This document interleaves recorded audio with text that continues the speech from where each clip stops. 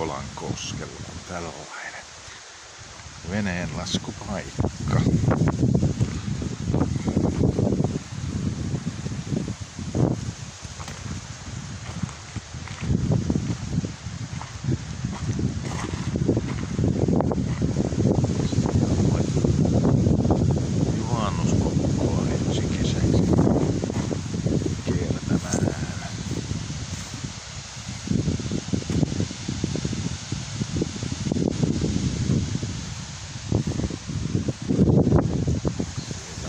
Kalamiestä istuu.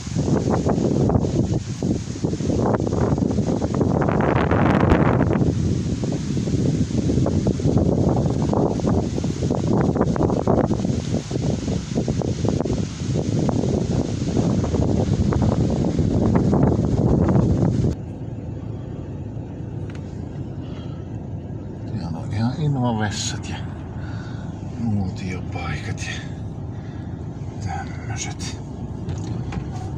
Se on tuo laavukin, mutta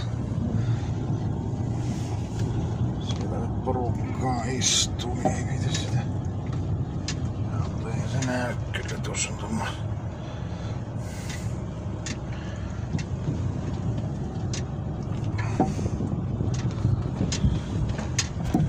Muullakin on huusseja ja, ja